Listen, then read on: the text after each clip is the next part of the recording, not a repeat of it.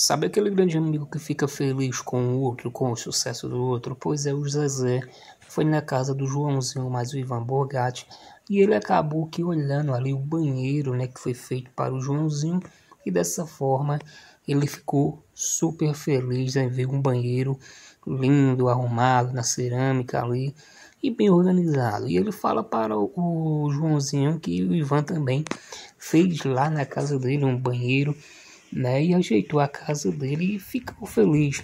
Um dia de reunião né, entre eles ali, Joãozinho, tio Clóvis e o Ivan Borgatti, dessa forma trazendo alegria, né? cada um para si ali trazendo alegria, conversando, interagindo.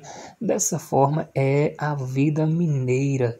Eles que gostam de palestrar, conversar, de estar sempre junto ali, trazendo né, e mostrando a cada dia o que é feito um pelo outro. Joãozinho, né, um homem guerreiro, batalhador, e também o Zezé, Zezé, qual né, tem uma grande história, maravilhosa, e dessa forma, gente, foi a visita né, do Zezé com o Tio Clóvis e o Ivan na casa do Joãozinho.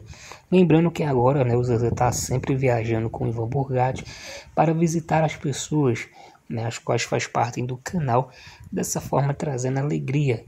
A gente já viu um vídeo aí bem legal de, do Zezé de Clóvis visitando a menina da mata e agora, né, visitando a, o Joãozinho, dessa forma trazendo alegria e ficando surpreso também com o que o Ivan Borgatti e os inscritos têm feito é, pelo Joãozinho.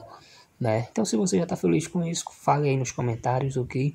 Deixe seu comentário, compartilhe o vídeo agora mesmo no seu WhatsApp, assim também para trazer alegria para mais pessoas conhecer Joãozinho e o Zezé.